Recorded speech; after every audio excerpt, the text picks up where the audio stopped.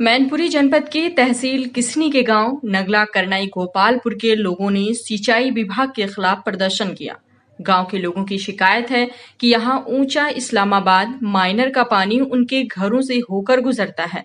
मुख्य रास्ते पर पुलिया थी जो काफ़ी पुरानी थी, वो काफ़ी समय से टूटी पड़ी है, जिसके कारण लोगों के आने जाने में परेशानी होती है। पुलिया टूटने से गाँव के छोटे बच्चे पानी में गिर जाते हैं। यहाँ बड़ा हादसा होने की आशंका रहती है। कहाँ के रहने वाले आप? नंगला करनाई उर्फ़ गोपालपुर। अच्छा गोपालपुर। ये जो नाली का मसला है ये पुलिया का जो आपके यहाँ नाली बनी है सिंचाई वाला बम्बा। सिंचाई विभाग। तो उसका क्या मसला है?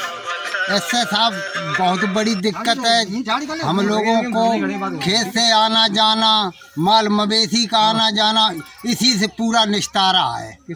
और कोई रास्ता नहीं हम लोगों के लिए। अच्छा ये जो नाली अभी टूटी पड़ी है हाँ। इसके लिए आप क्या कहेंगे? कैसे टूटी? क्या हुआ?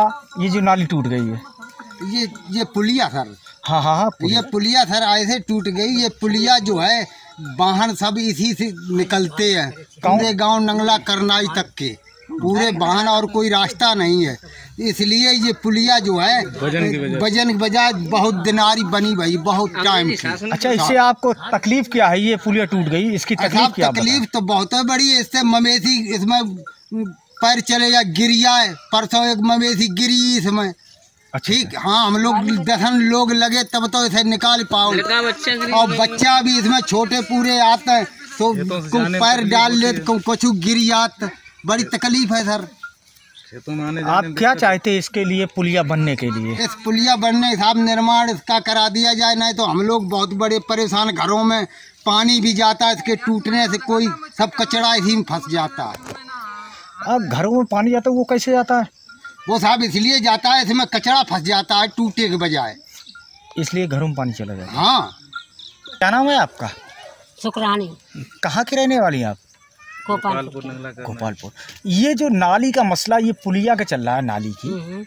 ये क्या मसला है? ये टूटी पड़ी है। इससे क्या आपको दिक्कत हो रही है? जे दिक्कत हो तो ट्रैक्टर निकलता और मान लीजिए जो कुछ ऐसे निकलते और ताकि हमारे जो टूटी बहुत दिनारी है मान ली है।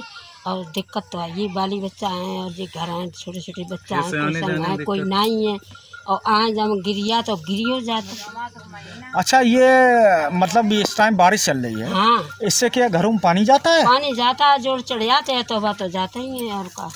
हमारे साथ जुड़े रहने के लिए हमारे YouTube चैनल को सब्सक्राइब करें साथ ही बेल आइकन को दबाएँ।